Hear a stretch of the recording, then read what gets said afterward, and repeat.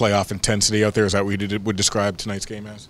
Yeah, I mean, this is uh, it's turned into a great rivalry between uh, both teams here. Uh, it's a lot of fun. This is uh, what you want to be a part of. So, um, you know, was, I think we did a lot of good things tonight.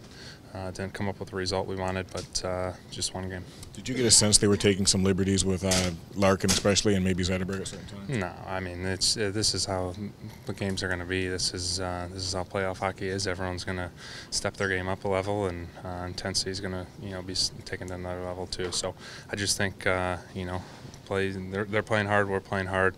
Uh, that's how it's going to be. When you look ahead to game two, is there one area of your guys' game that you want to see tightened up or improved on? Uh, you know, I think when they got their chances, you know, sometimes we're getting a little too aggressive in, in the offensive zone. Uh, I think we can keep an F3, uh, just make sure we sort things out in our in our own zone. But uh, did a lot of good things. I thought Bishop made some good saves, uh, you know, to keep it uh, keep them up 3-2, and uh, just gotta keep doing a lot of the same things we did tonight.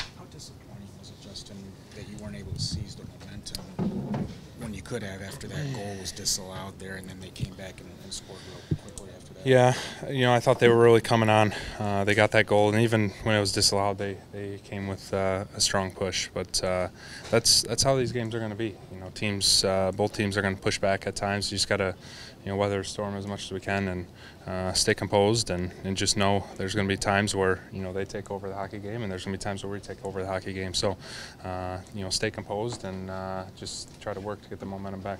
You had a lot of interactions with a lot of them individually. How important is that in a series to just try and get under people's skin and?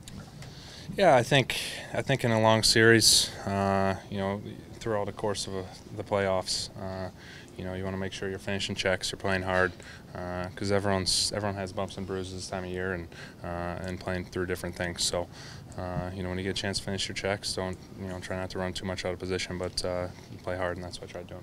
Both the goals you guys scored, I mean, you were down low, Darren Helm was in front, and Green is kind of proved that that's the only way you're going to score on Ben. Uh, yeah, I mean, that's, you know, we want to get traffic obviously in front of him. Uh, he's a big goalie, and uh, even pucks he doesn't see, he's a lot of times hit him. But, uh, you know, I still think we can, uh, yeah, just do, do a good job in front of their net and take away his eyes. But uh, I thought we had a lot of good looks tonight. You know, Sheahan had a, a good chance coming down the slot there. Greener just looks like he just missed there in the end. Um, just keep doing the right things. Pucks are going to go in. just obviously got to win those battles in front of the nets. what did you see on your goal? Uh, you know, we're forechecking them there, and uh, you know, they, uh, I think it was Hedman, you know, went to try to clear it and threw it up the wall uh, to Quincey, and uh, once I saw Quincey was going to have it clean, I kind of churned and got got a lane to the net and, and tried to get a stick on it. Their forecheck was wreaking havoc tonight, turning some pucks over as well. What can you guys do to maybe neutralize their forecheck? Just stay above them, try to get a bump for our defensemen. Um, you know, get back uh, as a unit of five, uh, break out together. You know, they're they're uh, a good skating team and uh, going to put pressure on us when, when they forecheck. But uh, just got to get get back together as a unit of five and uh, and work together.